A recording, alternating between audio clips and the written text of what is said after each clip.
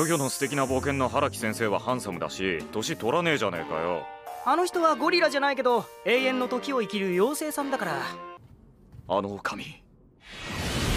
スタンド使いだ。違うだろう！あんなスタンドあるかボケ！どう考えてもスタンドだろうあれ。なんで？なんでこんなところに外人のスタンドがいるんだよ？意味わかんねえよ！つうかどうなってんですか？この旅館！どこもかしこもスタンドだらけじゃないですか！基本俺たちもスタンド使いだろ？ちょ待ってください！いつからスタンド使いになったんですか僕ら！俺は普段隠してるけどお前いつもスタンド出してんじゃん。その耳にかかってるやつ。それただのメガネ使いだろ！ええー、メガネって言うんだそのスタンド。腹立つ。こいつ腹立つ。バズ気づくどころかお前スタンドをピーナッツで餌付けしてたぞ。とんでもねえ。俺たちとんでもねえところに足を踏み入れちまった。ススススタンド温泉そう。待て俺がスタンドに適正？あるわけねえだろすでに今お前と喋っててすでに3回うんこ出そうに。ああやべ今も来たいやいや俺結構頑張った方だと思うよ。スタンド苦手だったのにさ。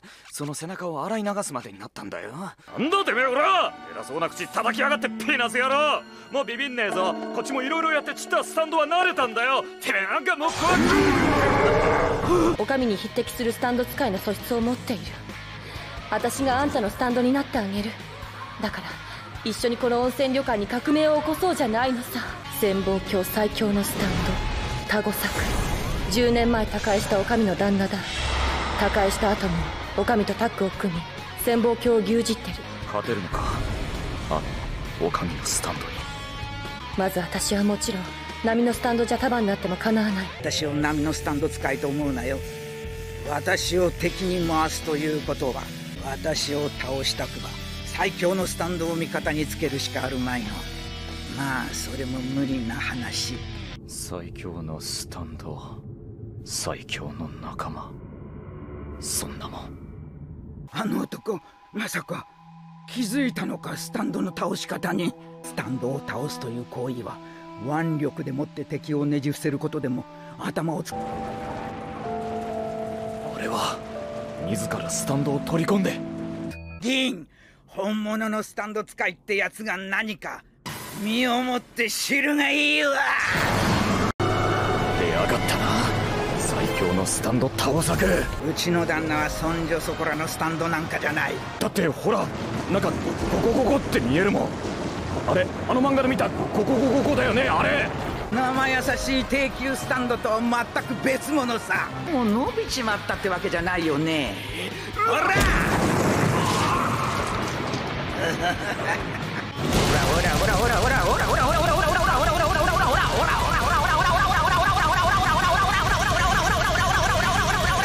セカンドスタンドアイアンガール。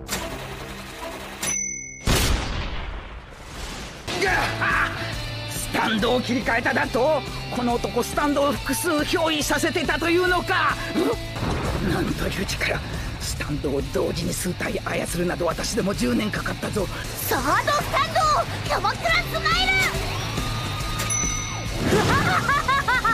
お弁当の時間にしてやろうか。行けフォーススタンドジミーヘブンリやばい!スタンドが全部飛び出しちゃったよ!ー議長逃げろ生ミアルまさかあれだけの数のスタンドを同時に使いこなすとは。見事だよ!修行時代が斬新な選ばれた奴らだけなんだよ!ペリオンとかジェネシスとかやってればいいじゃないですかあんなんただのクソゲーやん。やっぱし挽回とかスタンドがええわ。大丈夫ね。いざとなったらあんなんやこんなんやそんな前例に習って生き返らせてやっから。この子に及んでまた謝る先増やすようなイメージ出すんじゃねえよ